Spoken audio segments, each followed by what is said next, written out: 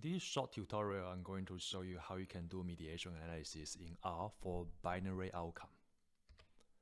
So um, I'm going to use a package called mediation and I'm going to post the package paper in the video description. And I'm not the author of this package, so I cannot guarantee that the R code shown in this video correctly use that package.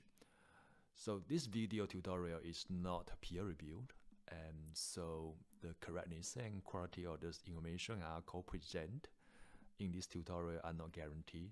So if you are writing an academic paper, please do not cite this video.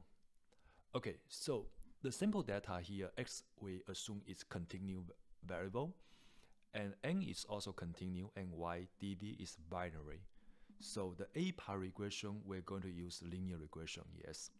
And the B part, we're going to use logistic regression, so the B part.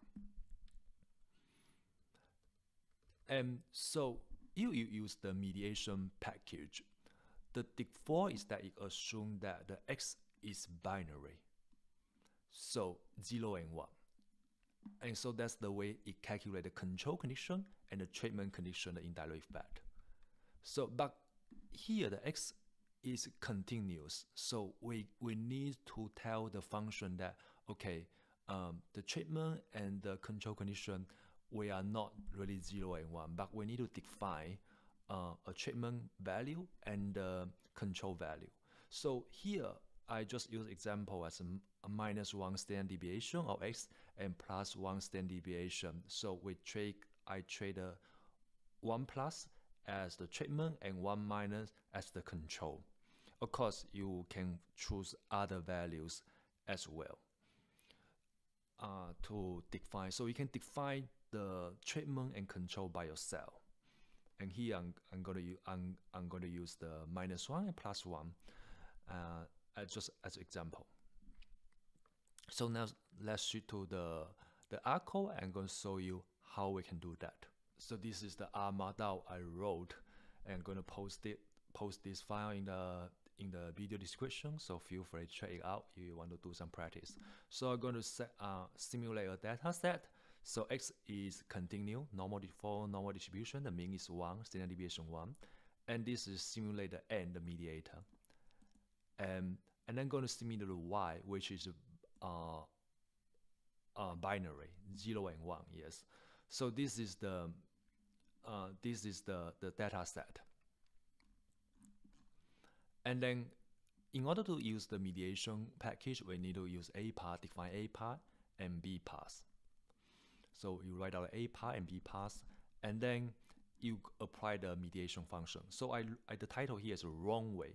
So uh, wrong way means that you you do not define the control and treatment uh, be, here because the x here is continuous variable and so you do not define the control and the treatment, then this is the wrong way. So regardless, I show you the wrong way. So you do not define the treatment and control. So, but even so, you do not define the treatment and control. This mediation function will just assume that your control is zero, your treatment is one, which are not correct. But regardless, this is of output. So this is an, I write another example called correct way. So you need to define, tell them uh, which value is the control value, which one is the treatment value. So here I calculate the mean and then calculate the standard deviation and then calculate the x control. I define it as mean minus one standard deviation and the control is mean plus one standard deviation. So we define the value and then you put it into the mediation function and you can see that the control and treatment now is different from the, the, the incorrect way of the write this function. And so, okay, so, so this is double check, this is optional, you do not really need to do that, but I just uh, show you that how you're going to calculate the control and the treatment effect, um, indirect effect, to see that whether we, we kind of correctly our understanding is correct. So here is that the basic idea is that I, I write out the A part and the B parts. And then I calculate the the control versus uh, treatment. Remember that you need to calculate the control, uh, the, the M estimate. This regardless control or treatment condition, you always need to ca calculate M uh, in the control and treatment. So you need always the M, one standard deviation one, minus standard deviation one. You need always, regarding control or treatment, you always need to use this one. And then you replace X with the 0 with the minus 1, 1 with, uh, 1 with the plus 1. So this is the, um, that you calculate the control and calculate the treatment. Yes, in the control, uh, that the, the X is, X is X control, X control. And in the treatment condition, and the treatment is, better, all other things are the same, but you just replace X control with X treatment and all other things um, are the same. And then you can see that the indirect effect of control is 0 0.16 and 0 0.158 is close.